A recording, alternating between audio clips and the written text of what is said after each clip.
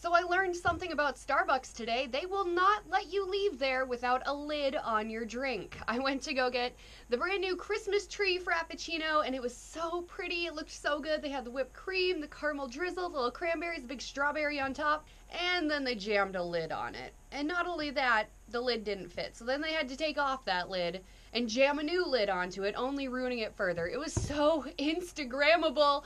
And, and then I'm left with this, which is a pretty mediocre looking drink. But we're going to taste test it and see if it's as good or as bad as the internet thinks it is. So the bottom of this is a peppermint mocha frappuccino, which I'm really excited for. That sounds delicious. The top is a green tea whip. That's what makes it that green color.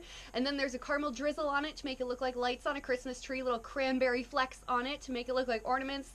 And then somewhere in there is a strawberry that is on top of the tree. Um, it'll be quite interesting when I get to that point. Not a big green tea person, so the whipped cream is okay. Tastes like green tea. The bottom part is so good.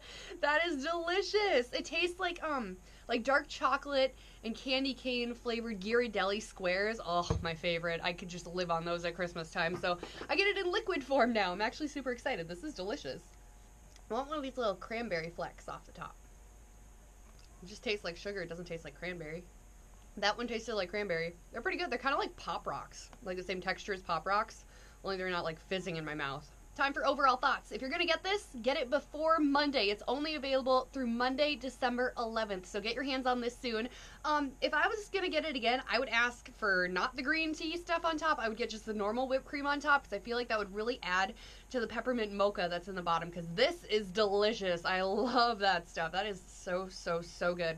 Yeah, I would just get normal whipped cream on it with a caramel drizzle. See if they can do that. Hopefully they can. And remember, they are going to send you home with a lid on it.